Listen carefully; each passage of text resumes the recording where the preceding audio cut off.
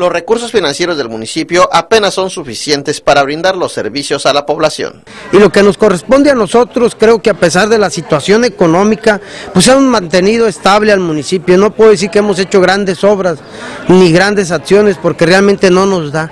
Nos da para mantener la paz, la tranquilidad, brindar los servicios básicos, la recolección de basura, el mandar efectivamente el servicio de agua a todos los domicilios que traemos problemas, hasta para el pago de luz con comisión. Se está contratando dos bufetes para realizar los cobros de agua y predial. No es malo decirlo, yo creo que es importante que el gobierno va a empezar a trabajar con dos despachos de la Ciudad de México para combatir la morosidad en el predial, en el agua, en los temas que tienen que ver con los, los, impuestos que deben de pagar los ciudadanos al municipio. Necesitamos que llamar, y es un llamado que aprovecho y hago, para que todos contribuyan a cumplir puntualmente con sus impuestos. Un poco más duros, sin darles ese beneficio, hoy los vamos a pedir, es una contribución, es una obligación.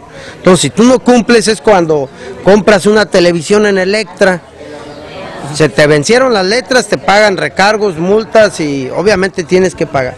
Y aquí vamos a hacer algo similar.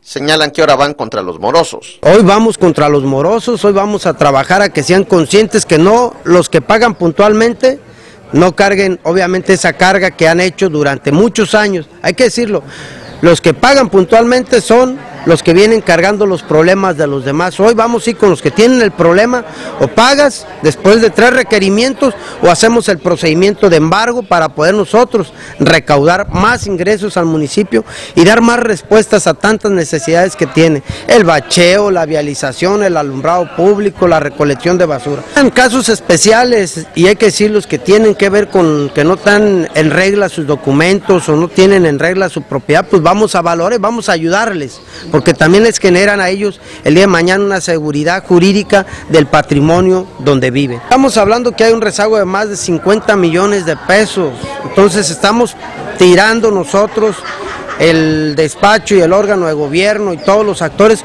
pues a recuperar si no el 30, el 40% de todo este rezago. ¿Y con cuánto se va a quedar la empresa? Estamos hablando de lo que recauda de la morosidad, les puede tocar el 15 o el 20%. Todo depende del trabajo que ellos desempeñen. Ellos se van a cobrar de algo que no tiene el municipio. Esta actividad va a estar los dos años y meses que me quedan de la gestión. Oscar Camacho para Noticieros Nuestra Visión.